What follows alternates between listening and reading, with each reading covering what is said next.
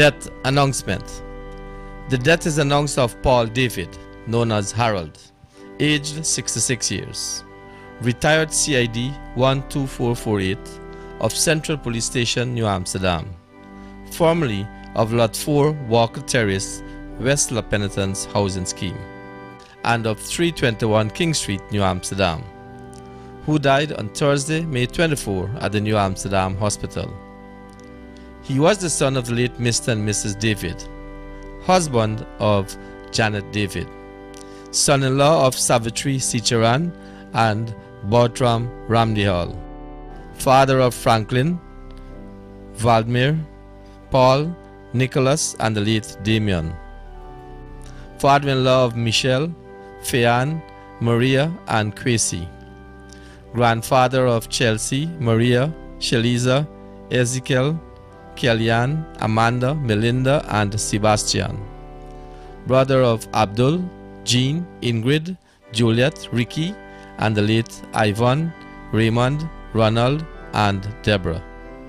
Brother-in-law of Golin, Nita, Baby, Richard, Robert, Sita, Shelley, Patricia, Pastor Errol Inchanali, and Audrey Rambarose. Nephew of Baby. Uncle of Troy, Cherry, Geary, Marcia, Ricardo, Selena, Lil Ricky, and many others. Cousin of Neil, Brenda, Colin, Dalip, Michelle, and many others. Friend of Dale, Data, Chico, Debbie, Matthew, Mark, Mikey, Karen, Ballhead, Shenny, and many others. Neighbor of Maureen, Flavio, and Kedar. The body of the late Paul David, known as Harold, will be at his residence, 321 King Street, New Amsterdam, on Wednesday, May 30, from 12 hours to 13 hours for viewing. Thence to the Ebenezer Lutheran Church for funeral service at 14 hours. Burial will take place at the Stanleytown Cemetery.